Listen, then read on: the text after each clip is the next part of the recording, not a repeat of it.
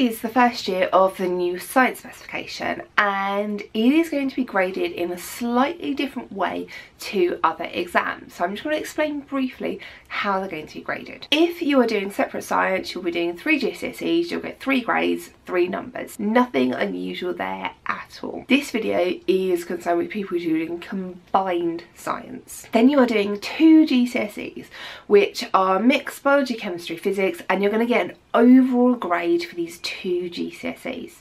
So it's really important that when you write it on your CV in the future, you write it down twice because otherwise it's just going to look like your one GCSE. But this qualification, combined science, is worth two GCSEs. And you're going to get a double grade.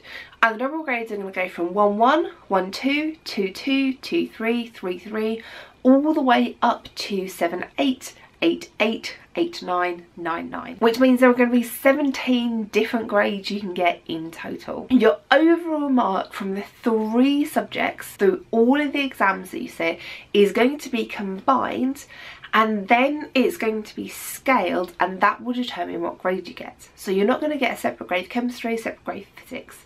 The advantage of doing this is that if you're really weak in biology but really really strong in physics then your physics can pull your biology grade up. Now this may sound a bit weird but I read um, Ofqual's explanation for this and the reasoning behind it is actually really really good. Say the grade boundary for 5 was 150 and you got 149 which means you got a 4 but you wouldn't get one four because it's a double GCSE, you'd get two fours, even though you are one mark off getting two fives.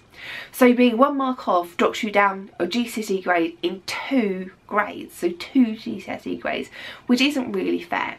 So if you're one mark away from the grade boundary, say you're 149, you would then get a 4 5, saying you were at the top end of the 4 and you nearly got a 5.